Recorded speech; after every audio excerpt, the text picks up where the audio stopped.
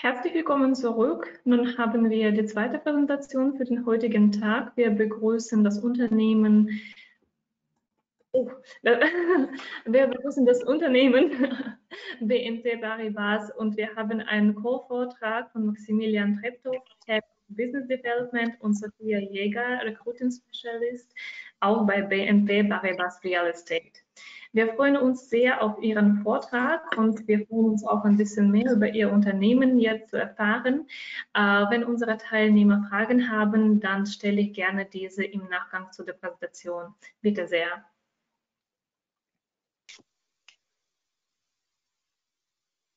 Genau. Oh, jetzt bin ich eins zu weit. Genau. Erst einmal herzlich willkommen. Ja, ich muss ein bisschen darauf achten. Tatsächlich äh, ähm, ähm, spricht die Präsentation schnell weiter. Genau, erstmal herzlich willkommen und äh, freut mich auf jeden Fall, dass Sie sich eingewählt haben und wir Ihnen heute mal über unser Unternehmen berichten dürfen. Ähm, genau, die Kollegin hatte mich jetzt gerade schon kurz vorgestellt. Mein Name ist Sophia Jäger. Ähm, ich habe auch noch einen Kollegen mitgebracht, der sich gleich auch noch vorstellen wird, ähm, wird aber sagen, starte erst einmal, dass ich Ihnen, na, jetzt klappt es nicht, doch jetzt, kurz die Agenda vorstelle. Ähm, und zwar beginnen wir erstmal mit einer kurzen Vorstellung. Danach berichten wir Ihnen einiges über unser Unternehmen, ähm, gehen dann auf die Einstiegsmöglichkeiten bei uns im Unternehmen ein und zum, ähm, zu guter Letzt haben Sie auf jeden Fall noch die Möglichkeit, Fragen an uns zu stellen. Ähm, genau. Genau. Erstmal kurz zu meiner Person. Wie gesagt, Sophia Jäger ist mein Name. Ich bin seit ja, etwa eineinhalb Jahren jetzt bei der BMW Paribas Real Estate hier am Standort in Frankfurt am Main beschäftigt ähm, bin als Recruiterin beschäftigt ähm, und ähm, ja, muss sagen, mir macht der Beruf sehr, sehr viel Spaß, dadurch, dass ich eben sehr viele verschiedene Bereiche kennenlerne als Recruiterin. Ähm, da wird aber mein Kollege Max vielleicht noch mehr zu berichten zu den verschiedenen Bereichen. Ähm, kurz zu meinem Profil. Ich habe Wirtschaftspsychologie studiert, ähm, im Bachelor und im Master und genau bin seit eineinhalb Jahren jetzt bei der BNP. Dann übergebe ich einmal direkt an dich, Max. Perfekt. Vielen Dank, Sophia. Herzlich willkommen an alle. Freut mich sehr, dass Sie sich die Zeit genommen haben, heute unseren Vortrag anzuhören. Ich glaube, das ist die kürzeste Unternehmenspräsentation aller Zeiten bisher. Deswegen müssen wir ein ganz kleines bisschen Gas geben und erzählen ein bisschen weniger als sonst. Unser erklärtes Ziel ist aber dennoch heute, ähm, dass Sie alle wirklich einen sehr guten Eindruck davon kriegen, wer wir sind und was wir tun. Und mir ist es vor allem sehr wichtig, dass Sie sich auch wirklich die Arbeitsplätze bei uns genau vorstellen können. Das heißt, wenn wir gleich über die Bereiche sprechen, dann versuche ich bei jedem Bereich wirklich ein sehr exaktes, praktisches Beispiel zu finden, aus dem wirklich klar wird, wie sieht der Job in diesem Bereich eigentlich tatsächlich aus? Ähm, das wäre mein Wunsch für heute, dass Sie da alle eine gute Vorstellung von kriegen. Ähm, ganz kurz zu mir nur, ähm, wirklich so kurz wie möglich. Mein Name ist Maximilian Treptow, äh, gerne für alle Max. Ähm, bei uns ähm, ist das auch von der Kultur her so. Ähm, ich bin von Haus aus Jurist, bin seit zehn Jahren bei der BNP Paribas Real Estate. Ich habe als ähm, Broker angefangen, als Bürovermieter äh, quasi in Frankfurt. Das habe ich gemacht, weil ich einfach das Business sehr gut verstehen wollte, indem ich mal ähm, Karriere machen möchte, indem ich arbeiten möchte. Habe das zwei Jahre gemacht. Ich habe dann verschiedene Positionen im Unternehmen inne gehabt und bin jetzt seit drei Jahren in Deutschland verantwortlich für das Business Development. Darunter fällt bei uns alles, was die Themen Strategieentwicklung, Geschäftsfeldentwicklung, digitale Innovation und diese ganzen Themen betrifft, ähm, runter. Macht mir viel Spaß und so habe ich auch mal Gelegenheit, mal solche Vorträge zu halten. Sophia, wenn du einmal weiterklicken könntest. Ja. Wir haben hier die typischen Folien auch aus unserer Unternehmenspräsentation. Ehrlicherweise will ich aufgrund der Zeit hier sehr schnell rübergehen und will wirklich dahin kommen, ähm, dass die ganz praktischen Informationen über die aktuelle Situation kriegen bei uns. Trotzdem ganz kurz ist es wichtig zu wissen, wir waren 1958 mit der Gründung der Industrie in Immobilien Müller GmbH ähm, das erste große Gewerbeimmobilien, Maklerhaus und es ist wichtig zu verstehen, weil das wirklich unser Kern ist. Wir sind ein Maklerhaus, ein Gewerbemaklerhaus, ähm, jetzt inzwischen auch ein Residential ähm, und das ist einfach das, wo wir herkommen und die weitere Geschichte, da können wir uns bei anderer Gelegenheit gerne mal ausführlicher drüber unterhalten. Wichtig ist, wir sind heute die BNP Paribas Real Estate, ein sehr großes Unternehmen in Deutschland, Marktführer im Bereich gewerbliche Immobilieninvestments und viel mehr möchte ich an der Stelle gar nicht dazu sagen. Sophia, wenn du einmal weiterklickst. Hier haben wir unsere Kennzahlen ähm, aus dem letzten Jahr. Ähm, obwohl es ein schwieriges Jahr war, wie wir alle wissen, ähm, waren wir doch sehr erfolgreich unterwegs. Ich möchte nicht durch jede einzelne Zahl durchgehen, sondern mir geht es hier nur darum, dass Sie eine Größenordnung mal sehen, wo wir uns so bewegen ungefähr. Ja. Ähm, vielleicht eine Zahl rausheben, im linken grünen Bubble ähm, die 10,3 Milliarden Euro Transaktionsvolumen, also das Volumen, was wir tatsächlich vermittelt haben. Ich glaube, das ist schon eine recht eindrucksvolle ähm, Zahl in dem Markt. Gerne eine Folie weiter, Sophia. Das ist, glaube ich, für Sie ganz wichtig, ähm, weil Sie ja alle Karriere machen wollen, vielleicht auch bei uns und dabei flexibel sein wollen und es ja einem Leben doch mal hier und dorthin verschlägt. Ähm, wir sind sehr breit aufgestellt in Deutschland ähm, mit zehn Niederlassungen Transaction-Bereich eigentlich über ganz Deutschland verteilt, in jedem großen Immobilienmarkt vertreten und haben in den Bereichen Consulting, Valuation und Property Management noch ein paar kleinere Nebenstandorte. Das heißt aber eigentlich, egal wo Sie in Deutschland arbeiten möchten, welcher Immobilienmarkt Sie besonders interessiert, wir sind vertreten, wir sind vor Ort. Ich glaube, das ist eine relevante Information für Sie. Gerne eine Folie weiter. Und dann steigen wir nämlich auch direkt schon ein. So, jetzt wird's heiß. Ähm, jetzt äh, besonders gut zuhören. Ähm, das ist hier ähm, eine Folie, die ich sehr, sehr wichtig finde, wo wir uns also auch dann langhangeln werden. Ähm, das Besondere daran ist, dass sie eigentlich schon unseren USP, also unsere Einzigartigkeit zeigt. Ähm, wir sind eines der wenigen Unternehmen, die wirklich den vollen Lifecycle an Immobilie, an Dienstleistungen und Dienstleistungen versorgen können. Das heißt, ein Immobilieneigentümer, Besitzer, der muss in dem ganzen Lebenszyklus der Immobilie eigentlich niemals zu jemand anderem gehen. Ähm, wir können wirklich alles abdecken mittlerweile. Und ähm, das macht uns besonders. Das macht es auch für Sie spannend, weil Sie sich intern auch bewegen können. Wir haben eine interne Mobilität, auf die die ähm, Sophia später nochmal eingehen wird. Das macht es, glaube ich, spannend. Ich würde jetzt gerne mit Ihnen die einzelnen Pizzastücke hier einmal durchgehen und wie versprochen ähm, für jedes, ähm, jeden Bereich ähm, ein Beispiel bringen, dass Sie wirklich wissen, okay, was passiert da jetzt ganz exakt, ohne drumherum Gerede, sondern äh, klare Worte. Ähm, der Bereich Transaction ist das, was bei uns das klassische Brokerage ist, also die Maklerschaft praktisch Ganz wichtig zu wissen, wir haben keine eigenen Immobilien, sondern wir machen wirklich lediglich die Vermittlung von Mietverträgen und Kaufverträgen für kleine Büroflächen von 100 Quadratmeter bis zu großen 10, 20.000 Quadratmeter Flächen. Und im Investment ähm, beginnen wir bei einem Investmentsvolumen von circa drei bis fünf Millionen Euro und dann bis Open End auch in die Milliarde rein ähm, ist das durchaus alles möglich.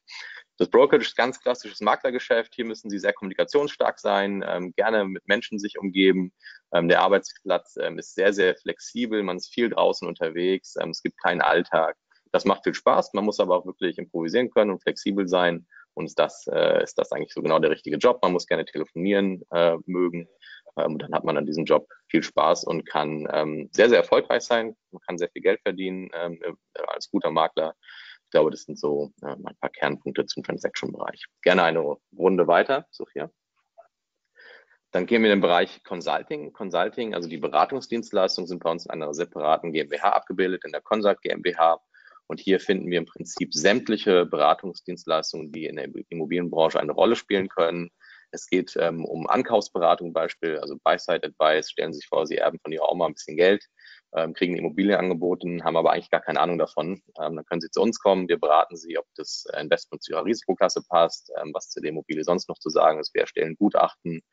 Ähm, wir machen Portfolioanalysen ähm, und ganz wichtig, was heutzutage auch mal wichtiger wird, wo wir auch einen großen Fokus drauf legen, das ganze Thema Nachhaltigkeit. Das heißt, wir beraten auch zum, zur Nachhaltigkeit von Immobilien, wie man Zertifikate ähm, bekommen kann und wie man einfach ein Portfolio auch möglichst nachhaltig gestalten kann.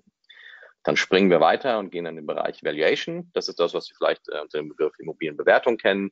Ähm, das ist bei uns auch in der Consult GmbH abgebildet. Hier ist die ganz klassische Immobilienbewertung. Hier sitzen Leute, die Excel besser können als Bill Gates vermutlich. Ähm, also wirklich Zahlen, Cruncher hoch und runter.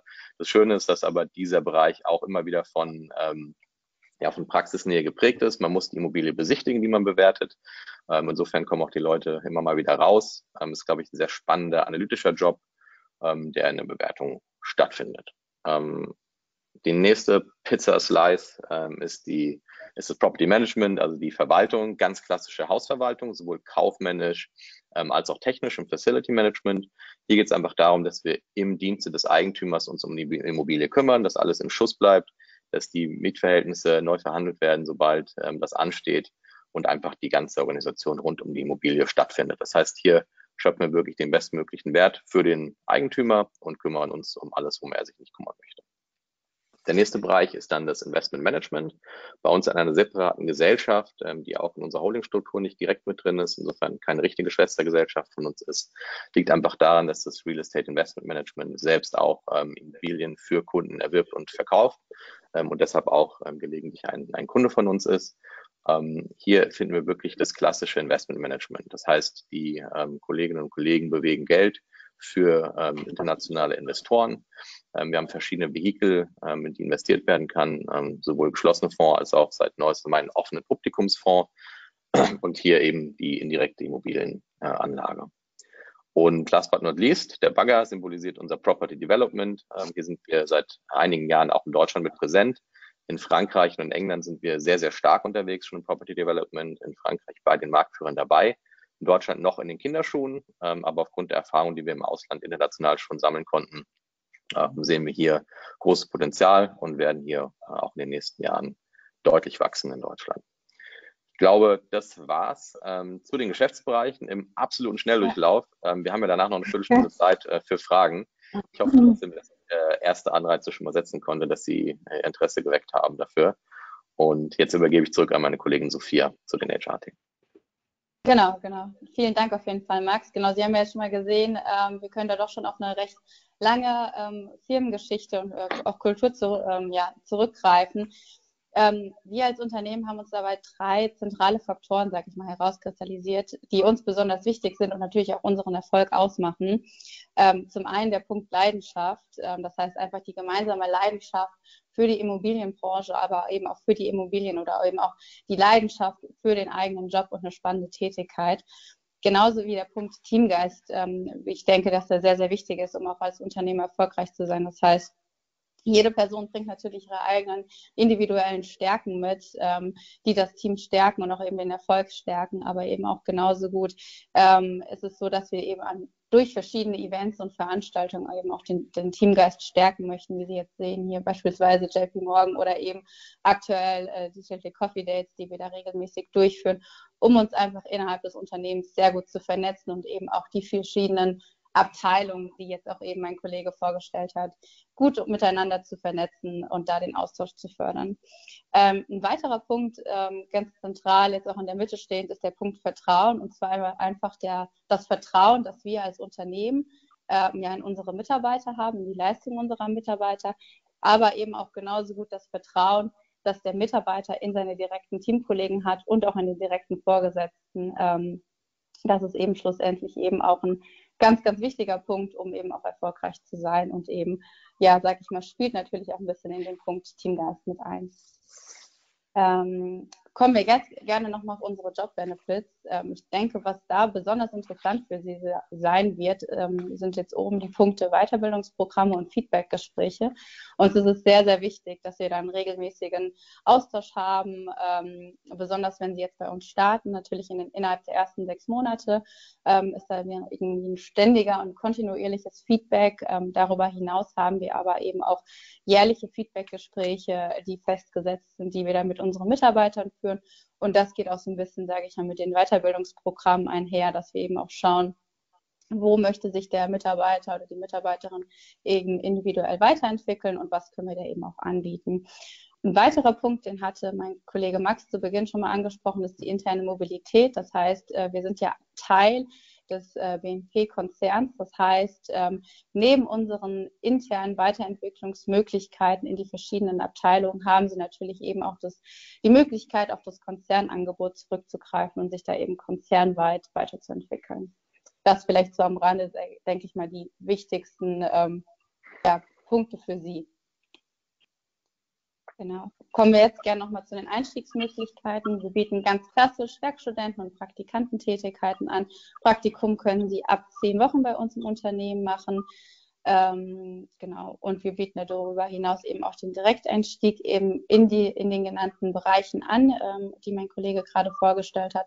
Darüber hinaus haben wir eben auch Trainee-Programme, die sind aber nur am Standort in München ähm, oder werden nur am Standort in München ähm, bei der Real Estate Investment Gesellschaft angeboten. Genau. Mit Blick auf die Uhr, äh, ist doch, sage ich mal, recht knapp. Ähm, sage ich mal, wäre das von, von unserer Seite auch erstmal. Hier sehen Sie nochmal unsere Kontaktdaten. Von daher fotografieren Sie sich die gerne ab. Ähm, äh, vernetzen Sie uns, sich gerne mit uns über LinkedIn oder Zing. Es ist sehr, sehr wichtig, auch für Sie, wenn Sie jetzt ähm, im Beruf einsteigen, da wirklich ein gutes Netzwerk aufzubauen, äh, kommen Sie gerne auf uns zu, falls äh, Ihnen im Nachgang jetzt noch Fragen aufkommen oder Sie sich da auch einfach nochmal ja, interessenshalber auch für verschiedene Bereiche oder Einstiegsmöglichkeiten bei uns interessieren. Von daher zögern Sie nicht, kontaktieren Sie uns einfach sehr, sehr gerne. Das möchte ich auch gerne nochmal ganz kurz äh, nachdrücklich unterstreichen. Das ist hier bei uns kein, kein Gerede, sondern wir meinen das wirklich völlig im Ernst. Wenn Sie Fragen haben, wenn Sie sich für uns interessieren, für die Branche interessieren rufen Sie uns wirklich an. Das ist wirklich kein, kein nicht als Spaß gemeint, nicht als Floskel. Sie können sich über alle Kanäle mit uns vernetzen. Meine Telefonnummer steht da, meine E-Mail-Adresse steht da, genauso wie von der Kollegin Sophia. Zögern Sie bitte nicht, uns anzusprechen. Es ist wichtig, mit Ihnen in Kontakt zu stehen und wir freuen uns wirklich, ähm, wenn Sie sich bei uns melden. Und wenn es mal nicht passt, dann sagen wir das auch. Ja, und dann finden wir später sicherlich eine Möglichkeit, das zu klären. Insofern ist das wirklich ganz, ganz ernst gemeint an der Stelle. Ja, so einfach und so lokal löst es. Und tatsächlich, wir haben jetzt keine Zeit für die Fragen, aber stellen Sie diese bitte tatsächlich LinkedIn und äh, unter den angegebenen Kontaktdaten. Wir bedanken uns recht herzlich bei Ihnen, Frau Jäger und Herr Treptow. Vielen Dank und ich hoffe, wir sehen uns wieder im nächsten Jahr. Danke. Danke so.